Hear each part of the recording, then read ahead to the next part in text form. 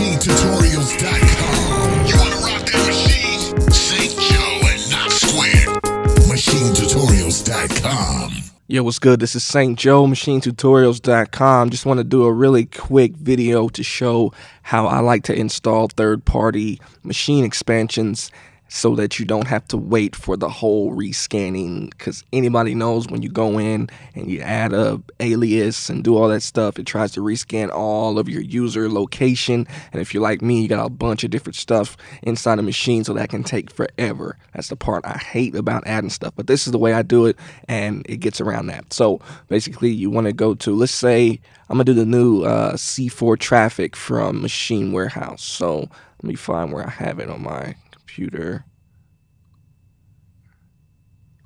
So here's the library, here's the folder.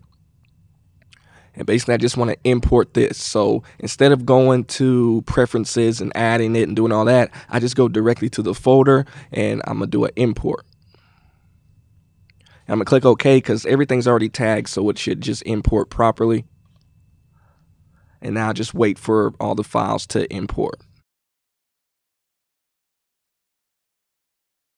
So as you can see, everything imported, like I said, depending on the library, depends on how long it takes, but it's definitely much quicker than doing a rescan. But the thing you want to do, because you'll notice if I go over here, you'll actually see it shows up, but you still want to go over to your preferences, go to your user pass, and add that alias. But now it's not going to do a rescan. So I can just go here, click in, C4, and click OK.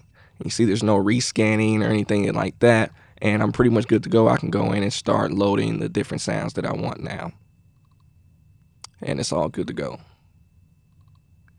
So that's how I import third party libraries. Like I said, I do this for drum kits, expansions, anything that's third party that doesn't come with its own installer directly from Maschine. This is how I like to import it. So I don't go through the whole you know, go into the file, go to preferences, and then add the user, you know, add the path and then add the alias because when you do it that way, it's gonna, you have to click rescan. And what it does is it rescans everything in your library, which takes forever. Especially the more stuff you have in here, the longer it's going to take. So hopefully in the future they make it so you can just add it and just have it, you know, rescan whichever library you're adding. But right now it doesn't work that way. So that's why I do it the way I do it. Like I said, you just go to disk, import the folder, you don't have to worry about adding any tags or anything. Let it import all the samples. And then once it's done, you want to go into your preferences and add the alias to that library and you'll be good to go. So, of course, if you got any questions, let me know. This is St. Joe, maschinetutorials.com,